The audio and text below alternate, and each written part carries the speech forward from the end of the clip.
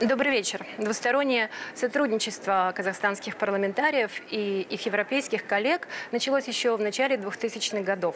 И в этом году прошло уже 16-е по счету заседание Комитета парламентского сотрудничества между Казахстаном и Европейским Союзом.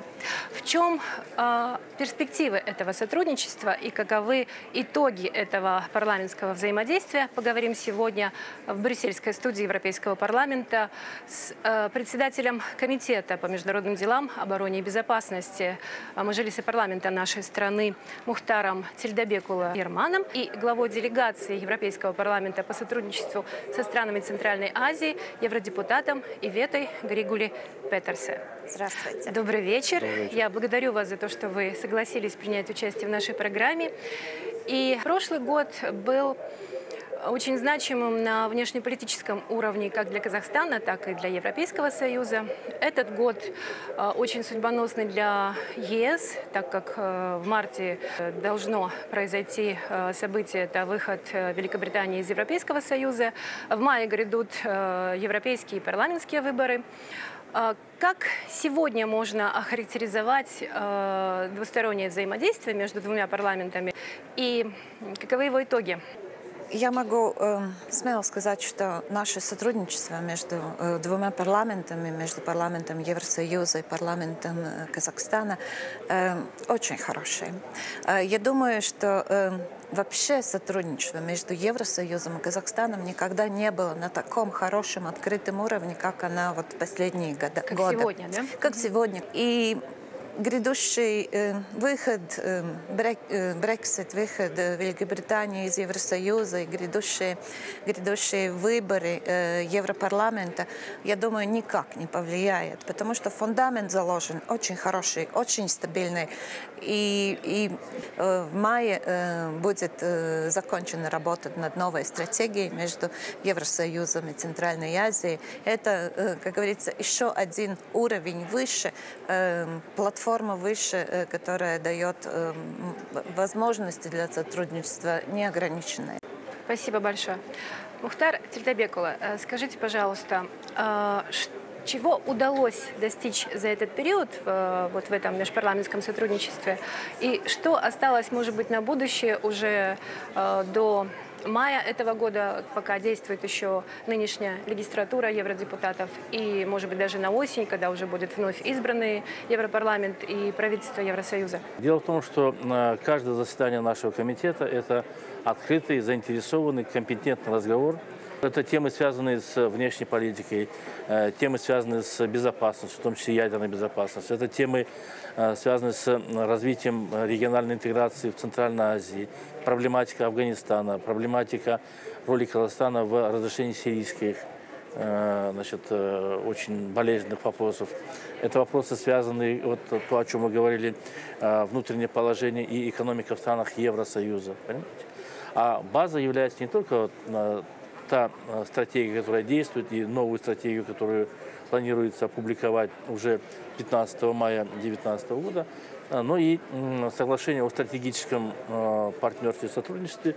Это очень важный документ, который был уже одобрен в 24 странах из 27, и мы надеемся, что в ближайшее время в трех странах завершатся необходимые процедуры. Это в Нидерландах, Италии и Кипре. И э, таким образом... Э, а Великобритания документ... уже не входит в этот счет, Великобритания, да? Не, но Великобритания уже одобрила до, а, до, до того, как был поставлен вопрос о Брексите. Поэтому у нас есть очень серьезная, э, скажем так, политика, политика-правовая база для нашего сотрудничества.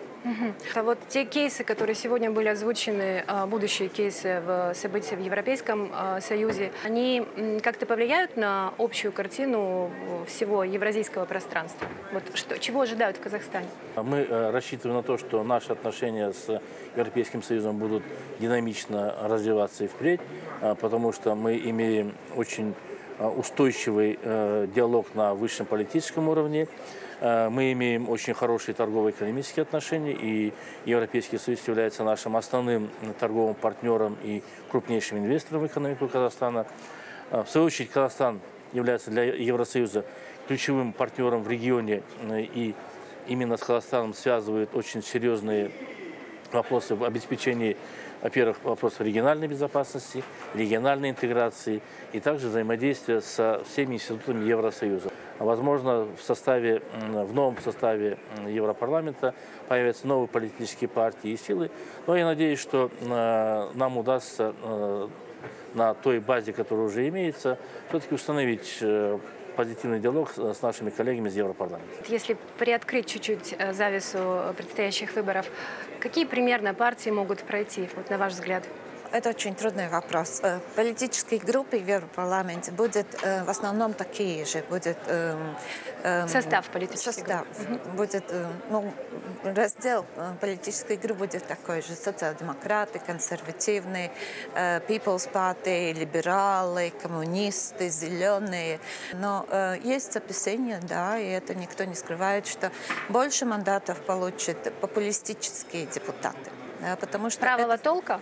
Или- Эм, правого, может, да, больше правого, потому что это самый легкий путь, как, как выбраться в парламент. Ну, основной стержень Европарламента останется такой же. Таких крутых поворотов не будет. Каковы перспективы нашего будущего сотрудничества? Может быть, э, в вопросе облегчения визового режима, что очень актуально для э, граждан нашей страны, которые посещают Европейский Союз, для бизнесменов. Мы поднимали эти вопросы на наших предыдущих э, заседаниях, и мы видим понимание наших европейских партнеров э, в том, что э, у э, Казахстана есть все основания ставить вопрос именно в такой плоскости.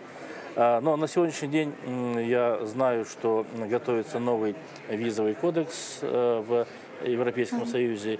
И э, пока просто э, в этом, в этом переговорном процессе наступила небольшая пауза. По поводу облегчения визового режима, э, да, есть наработки в парла- э, не в парламенте, а в комиссии.